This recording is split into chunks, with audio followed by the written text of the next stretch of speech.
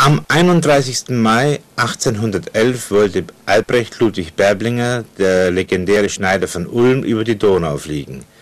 Er scheiterte bekanntlich kläglich mit seiner selbstgebauten Flugmaschine und lebte fortan in Spott und Armut.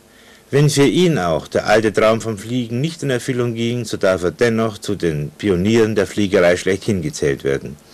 Im Juni 1986, also 175 Jahre nach dem gescheiterten Gleitflugversuch des tapferen Schneiderleins, veranstaltete die Stadt Ulm ihm zu Ehren einen dreitägigen Bärblinger Festival, dessen Höhepunkt ein Flugwettbewerb nach historischem Vorbild war.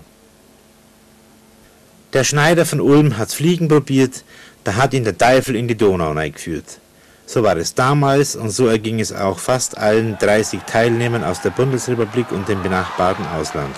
50.000 Mark winkten dem Sieger, der nicht nur nach der Flugweite zu ermitteln war. Bewertet wurde auch die größte Ähnlichkeit der selbstgebauten Fluggeräte mit dem Berblinger Modell von anno dazumal. Moderne aerodynamische Verbesserungen waren jedoch erlaubt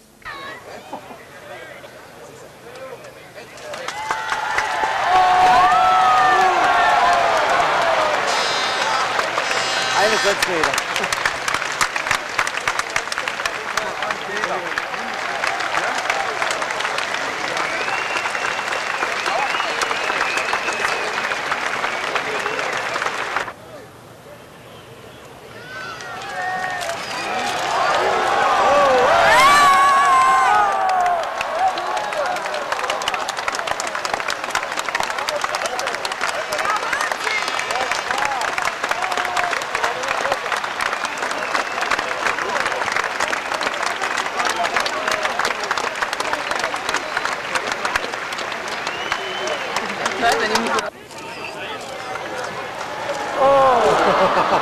Oh, du Arme.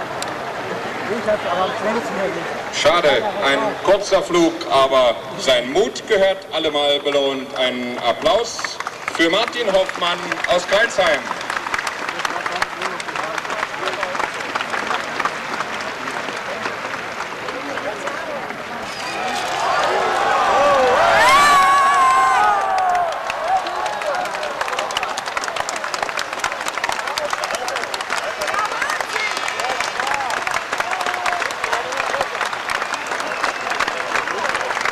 Rund 50.000 Schaulustige verfolgten das Spektakel ebenso ungeduldig wie 175 Jahre zuvor, als man den Schneider von Ulm zum Flug über die Donau drängte. Berblinger, der als erster Mensch eine Strecke nach dem Gleit und Segelflugprinzip zurückzulegen versuchte, stand damals wegen der Anwesenheit des Königs Friedrich von Württemberg unter besonderem Erfolgszwang. Sein Sturz in die Donau wird den seinerzeitigen ungünstigen Flugbedingungen zugeschrieben Drei Jahre zuvor trat Berblinger auch als Erfinder von ersten Beinprothesen hervor, die zwar bei Amputierten erfolgreich angewandt, staatlich aber nicht anerkannt wurden. Sein gescheiterter Flugversuch brachte ihn nicht nur Spott, sondern auch beruflichen und bürgerlichen Verfall, so dass schließlich sein Wohnhaus versteigert werden musste, um Schulden abzutragen. Er wurde zum Außenseiter und starb 13 Jahre später an Auszehrung Schade, dass er nicht mehr sehen kann, wie und was sich heutzutage so alles in den Lüften tummelt.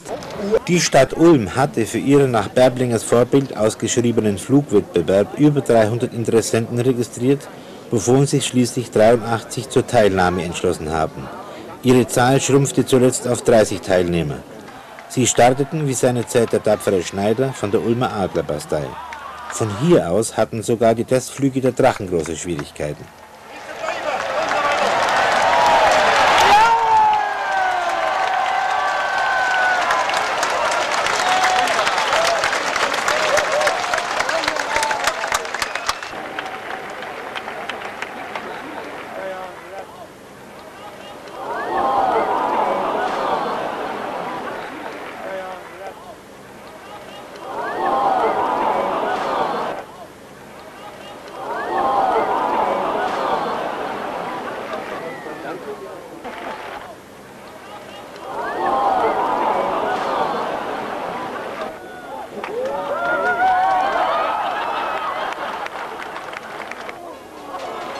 Einer schaffte den Flug über die 70 Meter breite Donau letztendlich doch noch.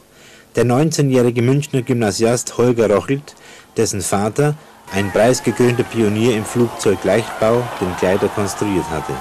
Sohn Holger musste aber seinen Sieg und die 50.000 Mark mit einem ausgekugelten Ellenbogen bezahlen. Am 15. Juni 86 um 20.55 Uhr hat es geklappt.